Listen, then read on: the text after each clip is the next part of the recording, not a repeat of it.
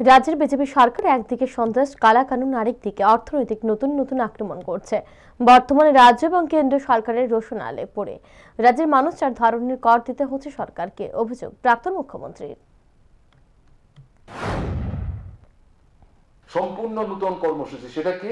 আক্রমণ আক্রমণ আক্রমণ। একদিকে সন্ত্রাস কালা কানুন এসবার মতো। আরেকদিকে অর্থনৈতিক নতুন নতুন আক্রমণ আপনার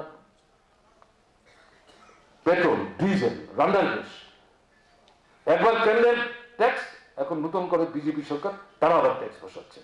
ট্যাক্সের উপর আরেকটা ট্যাক্স নাম তার শেষ এই ট্যাক্সের নামান্তর, ডাবল ট্যাক্স। কেন্দ্রের একবার ডাবল ট্যাক্স, এখানে এর উপর আবার ডাবল ট্যাক্স। চারটা ট্যাক্স আমরা ত্রিপুরার মানুষ দিচ্ছি।